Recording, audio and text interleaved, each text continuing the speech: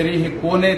अजितदादाच्या बंगल्यावर एखाद्या ऑपरेटर का मी म्हणतोय नाही मला माहीत नाही ना. मला विचारलं पाहिजे अमल विटकरी कोण आहे अमल विटकरी जर एखाद्या दादांच्या बंगल्यावर कुणाचा फोन आला याचा रेकॉर्ड कोणाकडे असू शकतं? ऑपरेटर तर म्हणून मी म्हणलो की ऑपरेटर आहेत का? मला माहीत नाही कोण अमल मिटकरी तर अमल मिटकरी हे मी काय एवढं कुठलं दिग्गज नाव कुठलं बघितलं नाही की जे ट्विट करू शकतं त्याची दखल घ्यावं लागतं. दखल पात्र माणसाची दखल घ्यावी. त्याच्यामुळे दखल घ्यायच्या विषयातला येत नाही.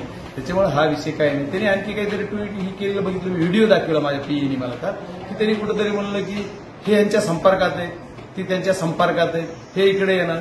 आणि संपर्कात राहिले कुणाच्या कुणा हे इकडे येणार. तिकडे आठ खासदार आदरणीय शरदचंद्रजी पवार साहेबांचे निवडून आले. आणि एखादा खासदार माझ्यासारखा कुणाच्या संपर्कात गेला? काय होईल? त्याला पब्लिक तर मारेलच.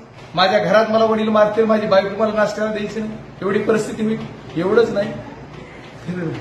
लॉ पॉईंटवर कुणाला येता येते कुणाच्या संपर्कात? तर ज्यांचा एखादा खासदार आहे त्याला आमच्या आदरणीय शरदचंद्रजी पवार साहेबांच्या संपर्कात येता येईल. आणि ह्यांच्यावर काय बोलायचे किंवा काय नाही? आदरणीय आमच्या युवकाचे प्रदेशाध्यक्ष महबूबाईंनी सगळे डिटेल सांगितले की चांगलं बोलले. त्याच्यामुळे आता मी काय त्याच्यावर बोलावं प्रतिक्रिया? मी खासदार आहे मी कुणावर बोललं पाहिजे? की मी ठरवी. मला कुणाला काय राजकारण करायचं ते करू दे. विषय कुठं आहे? की यांनी काय ट्विट केलं? आणि त्याला काय उत्तर द्यायचं? त्याला उत्तर काय द्यायचं? कशामुळे द्यायचं उत्तर कशाला? ह्या विषयाला विनाकारण बदल देणे विनाकारण कुठंतरी नेणे हा विषय वेगळा आहे. आदरणीय शरदचंद्रजी पवार साहेबाची जी ताकद या महाराष्ट्रात आहे देशात आहे देशानं बघितली ते आदरणीय पवार साहेबाच्या विषयाच्या ताकदी कुणाला पचवता येईल म्हणून कुठंतरी संभ्रम निर्माण करायचं काम. ओके? धन्यवाद.